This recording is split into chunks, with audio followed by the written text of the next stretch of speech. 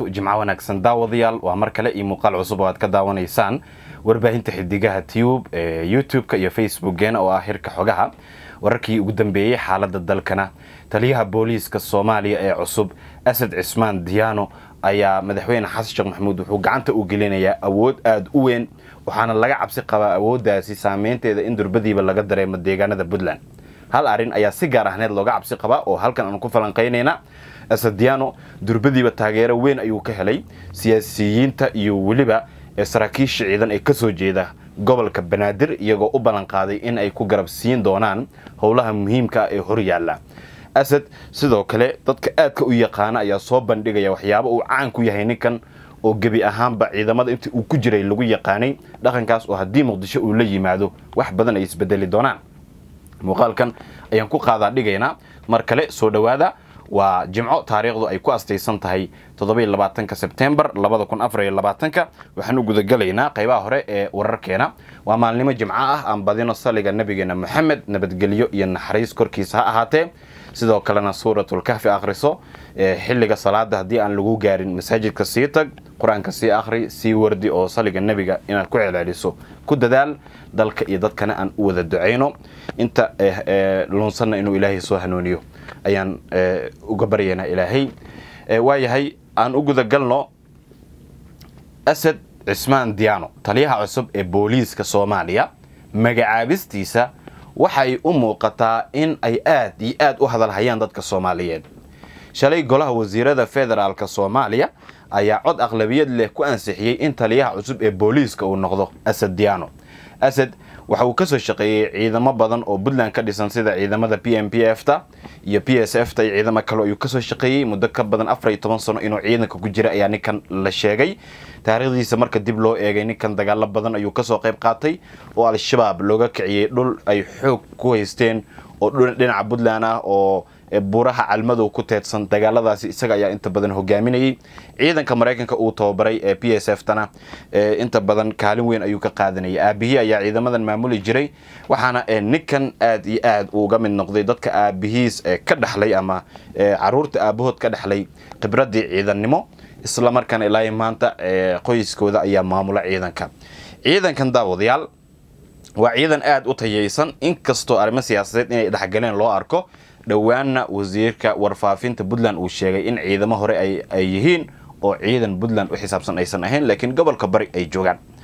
Haddaba daawadayaal madaxweyne xasan sheekh maxamuud ayaa laga cabsi qabaa awood xaddhaafa inuu gacanta u geliyo taliyaha booliiska soomaaliya.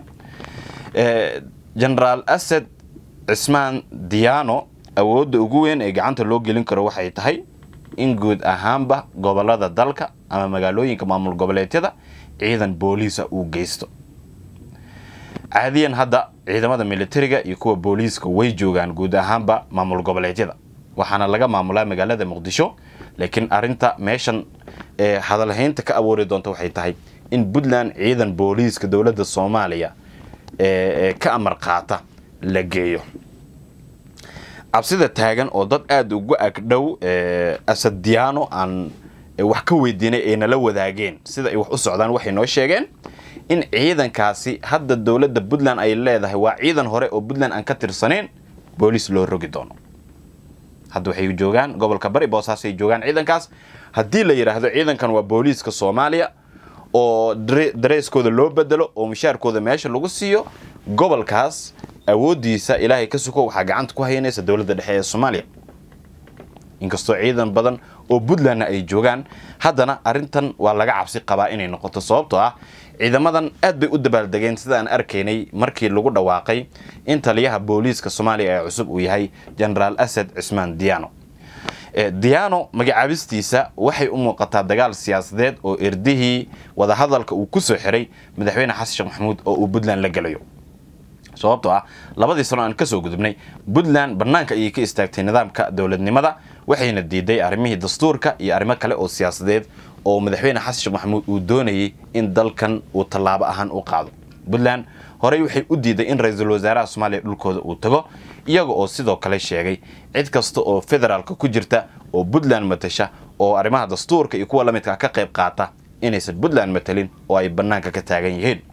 Dhowaana ugu dambeysay madaxweyne saciid cabdulaahi dan isagoo ku sugan magaalada gaalkacyo ayaa uu sheegay inuu ka raaligelinayo dadka reer puntland. Xildhibaanadii u soo xulay baarlamaanka federaalk soomaaliya ee puntland iyo s c matala oo uu tilmaamay in ay yihiin kuwo uu ku qaldamay haddaba daawadayaal asad cismaan diyaano haddii ay dhacdo qorshaha hadda la soo bandhigayo ee ah in ciidamadiisa uu u rogo booliiska soomaaliya waxaa dhici karta in gobolkaasi qalalaasi uu wajihi karo.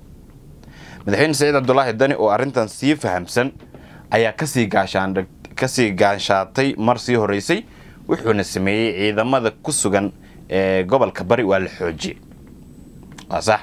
Bari puntland ayay ka tirsan tahay waxaana bari puntland ayaa maamusha oo waa la wada ogsoon yahay. Laakiin ciidamada b s f ta ciidan la dhayilsan karo oo lagu degdegi karo ma aha ama qayb kaloo iyaga ka mid a la samayn kara dad badan oo siyaasadda puntland aada u taageersan waxay aaminsan yihiin sababta asadiyaano loo magacaabay inaysan ahayn in ciidan booliis soomaaliyeed la horumariyo ee ay tahay in isku dir laga sameeyo gudaha reer puntland qalalaasi laga abuuro amniga ay reer puntland haystaanna wax laga bedelo. Taasi oo dhibaato badan keeni karta. Madaxweyne saciid cabdulaahi dani isaguna tallaabooyin jawaab ayuu qaadi doonaa. Ma ciidanka b s f tu gebi ahaanba ka saari doonaa dhinacan marka la fiiriyo gobolka bari ma ciidan dheeraad uu geyn doonaa halkaasi ma isbedelo siyaasadeed uu samayn doonaa lama yaqaano. Culayska keliya ee puntland lala damacsan yahay daawadayaal ma aha magacaabista la magacaabay genaraal asadiano. Galan ayaa la magacaabay iyo ninkan kale saaxiibkiisa oo iyaguna la taliyaal laga magacaabay kuwaasi oo aranjan kooxdii ahayd ee qayb weyn ka ah islamarkaana la fahamsan yahay in iyaguna ay damacsan yihiin qorshaha madaxweyne xasan sheekh maxamuud ee doorashooyinka iyo arrimaha maamul goboleedyada oo puntland qayb ay ka tahay ay iyaguna fududeeyaan. Madaxweyne xasan sheekh maxamuud dagaalka puntland uu la gelaya hadda wixii ka dambeeya weji cusub ayuu yeelanaya. Dagaalka hadduu ahaa warbaahintoo layska weeraro hadda wuu isbedelayaa gudaha puntland ayaana laga dareemi karaa saameynta dowladda dhexe ee soomaaliya.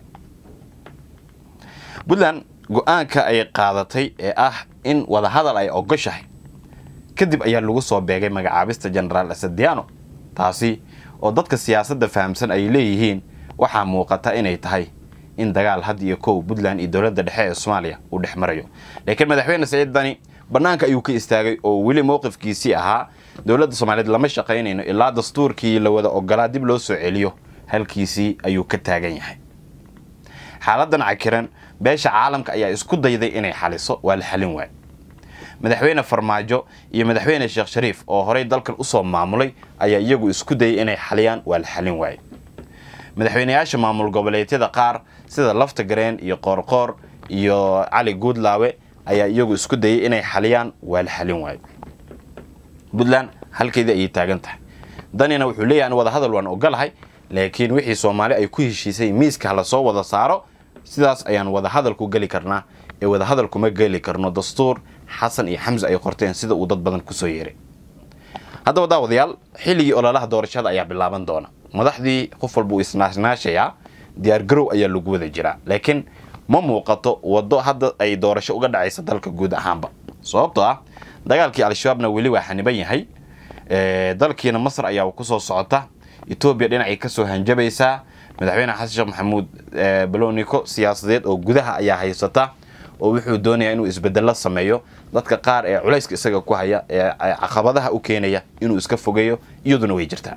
Laakiin labada kun lix iyo labaatanka ma teendha la aadaya ma doorasho qofi coda la aadaya jahwareer ayaa jira. Xitaa teendhadii diyaargarowgeedii inuusan muuqan ayaa dadku intooda badan ay ku doodayaan.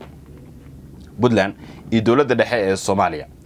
Inkastoo markii horeba lays arkayay hadda wixii ka dambeeya dhaqdhaqaaqa siyaasiyiinta tegi doona dhinaca puntland iyo kuwa ka imaan doonaba si gaar ahaaneed ayaa isha loogu hayn doonaa taageerayaasha dowladda ayaa ku baahinayay tan iyo xalay baraha bulshada in madaxweyne dani dhabarka laga togtay sababtan ay ku sheegeen inay tahay in ay leeyihiin dani wuxuu rabay inuu puntland jeebka kurito oo gargortan ka galo laakiin dad reer puntland oo federaalka ogol oo ummadda u shaqaynaya inay jiraan ayaa la tusay. Wadahadal dambe oo puntland lagala galayana ma jirto saciid cabdulaahi dani ilaa uu isa soo dhiibo ayay ku doodayaan laakiin dani dadka siyaasadiisa yaqaan waxay leeyihiin isaga ayaa mar walba ay qasab tahay in la raadiyo ee isaga qasab maaha inuu dad soo raadiyo. Haddaba daawadayaal saciid cabdulaahi dani tan iyo markii go'aanada uu qaatay mashaariic badan ayaa ka xayiran puntland wasiir ku-xigeenka wasaaradda maaliyadda ayaana sheegay in mashaariicdaasi dan gaara oo uu siciid cabdulaahi dani leeyahay ay u istaageen balse aysan ahayn cilad ka timaaday dhinaca dowladda dhexe ee soomaaliya. Haddaba awoodaha gacanta loo gelin doono maalmahana soo aadan marka uu xilka si rasmi oo la wareego taliyaha cusub ee booliiska soomaaliya jenaraal asad diyaano muuqaaladeena dambaan eegi doonaa iyo xogaha hoose ee ku saabsan dhaqdhaqaaqa uu wado asad diyaano oo kulmo ka bilaabay magaalada muqdisho kana dalbanaya dadka booliiska ka tirsan ee saraakiisha. Ah wada shaqayn xoogan sidoo kalena waxaa xusid mudan daawadayaal in saraakiil ee ka soo jeeda beesha hawiye ay durbadiiba kulmeen. Jenaraal asad diyaano ayna u ballan qaadeen in ay kala shaqayn doonaan amniga wax walba oo kaalmo uga baahan yahay dhinacoodana ay diyaar u yihiin. Sidoo kale odayaal ka soo jeeda beesha hawiye ayaa la kulmay oo iyaguna ballanqaad u sameeyey sheegayna in garabkiisa ay taagan yihiin. Wixii ku soo kordha muuqaaladeena dambe ayaan kuugu soo gudbin doonaa waana kaaga mahad celinayaa daawashada muuqaalkan mahadsanideen